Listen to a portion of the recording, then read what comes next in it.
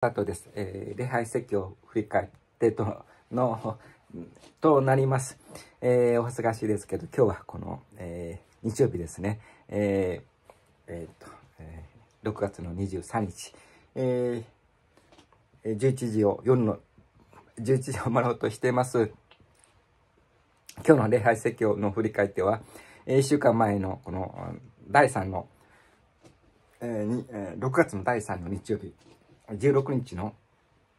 父の日のメッセージですね。えー、この、ま、動画撮りが1週間遅れて、また配信がまた、えー、この、今週の、えー、土曜日になりますけど、え父の日、感謝いたします。え5月の第2が母の日でしたですね。え感謝いたします。では早速、僕先生から力強くこの、えー、父、アブラハムですね、えー、私のこの信仰の父、えー、また、神の友と呼ばれている、との、え父の日に、えアブラハムについて熱く、僕先生から御言葉が語られました。感謝いたします。最初に司会者の方から、えヘブル人の手紙、この、えの、の11章の8節から、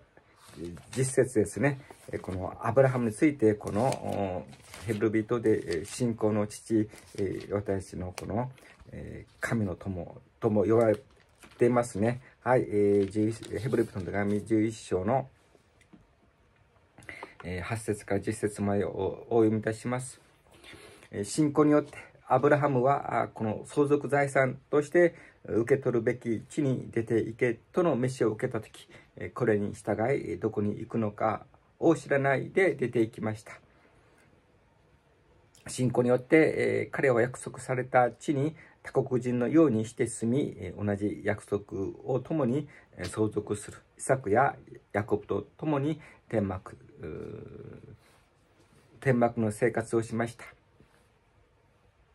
えー、彼は固い基礎の上に建てられた都を待ち望んでいたからです。その都を設計し、建設されたの神です。ことで、えー、感謝いたします。えー、牧師先生の方からこの、えー、この父、えー、アブラハムということで、えー、この箇所は、創世紀18章ですね、えー、この、えー、見つかりが来て、えー、このアブラハムとさらに、えー、来年の今頃、この、人の男の子が生まれる、イサクですね。イサクが生まれるというこの箇所からの御言葉でした。えー、力強い御言葉でした。感謝いたします。えー、まず、この、創世記18章の、えー、1節から21節までが、この、この、神様がソドムとゴモラを滅ぼすという、えー、このこともいい、えー、この告げようかというところまで、え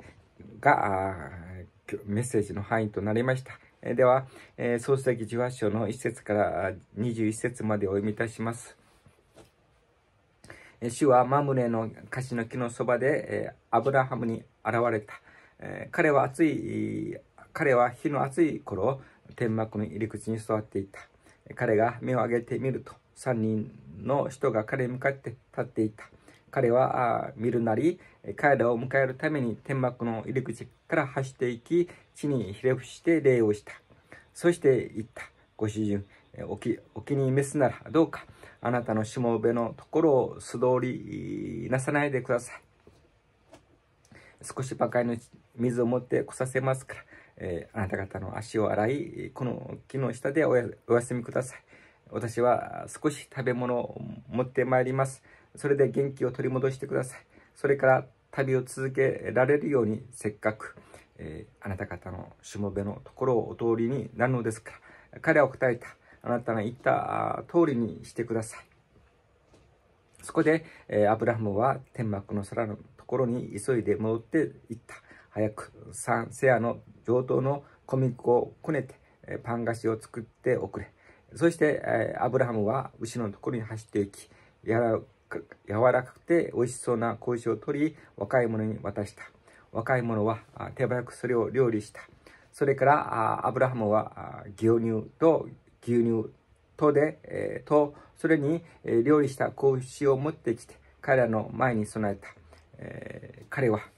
木の下で彼らに給仕していた。こうして彼らは食べた。彼らはアブラハムに尋ねた。あなたの妻サラはどこにいますか？それで天幕の中にいますと答えた。すると、一人が言った。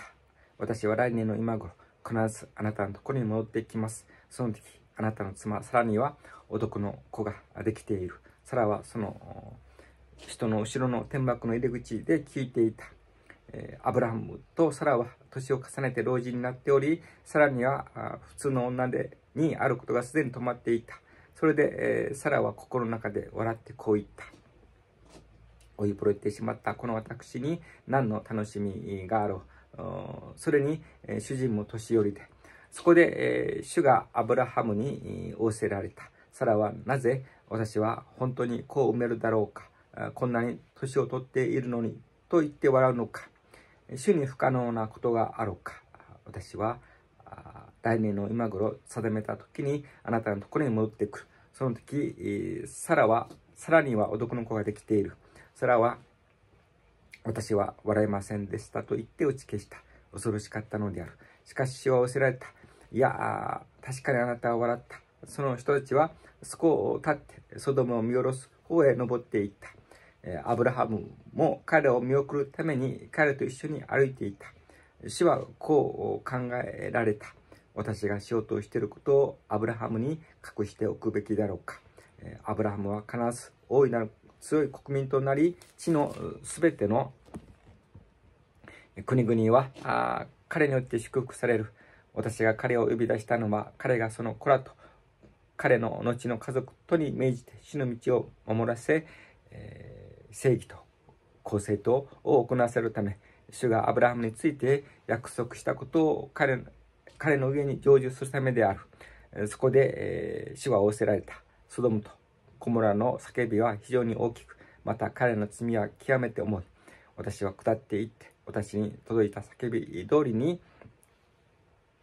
えー、彼らに実際に行っているかどうか見よ。私は知りたいのだ。えー、感謝いたします。えー、父の日にちなんで、えー、私のこのクリスチャンにとってこの聖書のこの、えー、アブラハムですね、えー、ノア、アブラハム、このヤク、イサク、まあ、ヨセフですね、そういうこの、えー、聖書でこの特に、えー、アブラハム、またこのイスラエル人にとってこの、えー、アブラハムはこの父、えー、家長とそういう象徴のこの信仰の友、このアブラハム、えーえー、と、まだ、神の友と呼ばれています。えー、このことを詳しく、えー、僕先生から、えー、語っていただきました。あ父の日ですね。えー、私も余談ですけど、母の日、父の日、えー、当日なるまで、え前もって分かっていましたけど、え日常の生活で、え忘れて、ええ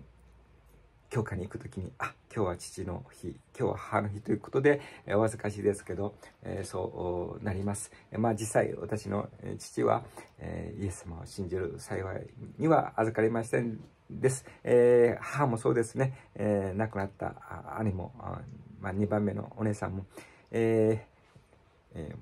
私、家族で私一人が、えー、クリスチャンですけど、先に、えー、なかなか、えー、この偶像崇拝、えー、小さな島での、えー、この、えー、神々の島ですね、偶像の島は、えー、なかなか、イエス様を信じる幸い、恵みには厳しいと思います。えー、まあ、えー、キリスト教はとてもいい、この教えです。とは理解してくれますけど、実際、えー、この、えー、この自分が個人的にイエス様を信じるその信仰っていうのは、えー、なかなか難しい、えー、かなと思って、えー、この、まあ、私のこの歩み、えー、なかなかそうですね、家族のために祈っていますけど、えー、この父ですね、今日が、えー、また、この6月23日、次の、えー、父の日から次の日でしたけど、えーえー、まあ、まあ、プライベートで話がそれますけど、えー、この、えー、太平洋戦争の沖縄戦の、えー、沖縄のこの、えー、この内島中将が、沖縄守備隊の中将が自決して沖縄戦が終了したあ戦いの日ですね。えー、私の実の父も、えー、この石垣島の白尾飛行場の守備隊について、えー、戦ったそういう父ですけど、よく私が、えー、父親の戦争話をよく、あ聞いた、そういう、うん、まあ、そういうのが好きな、えー、子でしたので、そのことを思い出しますけど、えー、この、まあ、例えがちょっと離れましたけど、えーえー、実際の父でしたけど、聖書から、僕先生からこの、えー、私たちの霊的な父、このアブラハムでについて、えー、固く、おえーえー、語ってくださいました。えー、もう一週間経っての、えー、礼拝説教となりましたけど、えー、その時が23日ですね。沖縄の出戦日とあって、本当に、えー、脱線気味ですけど、えー、この、このことを覚えさせられた、えー、礼拝説教でした。感謝いたします。えー、この、特に最後に、えー、このアブラムの信仰、この、最初に読まれた、ヘブリプの手紙11章の8節から 10,、えー、10節を読んで閉じさせていきたいと思います。えー、お恥ずかしい礼拝説教となりましたけど、えー、父ですね。はい、えー、私の信仰の父、また実の父ですね。はい、えー、感謝いたします。えー、おおお恥ずかしい。まあ、せえー、説教を聞いての振り返りですので、1週間この説教を振り返ってっていうのもなかなか厳しいですね。今日の説教の振り返りなら、あまあ、それも、えー、ですけど、はい、えー、余談ですけど、えー、では、この、この、この、1週間前ですね、えー、6月の16日ですね、そうですね、間違い、16日の父の日の礼拝で、えー、父アブラハムと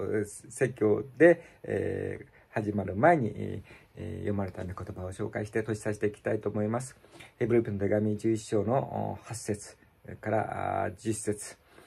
えー、信仰によってアブラハムは相続財産として受け取るべき地に出ていけとの飯を受けた時これに従いどこに行くのかを知らないで出て行きました。信仰によって彼は約束された約束された地に他国人のようにして住み、同じ約束を共に相続するイサクやヤコブと共に天幕生活をしました。え彼は固い基礎の上に建てられた都を待ち望んでいたからです。その都を設計し、建設されたのは神です。え感謝いたします。えー、私も父ですね。私の夫婦には子供はいませんけど、この父、アブラボということを覚えて、私もその父、アブラハムを、アブラハムを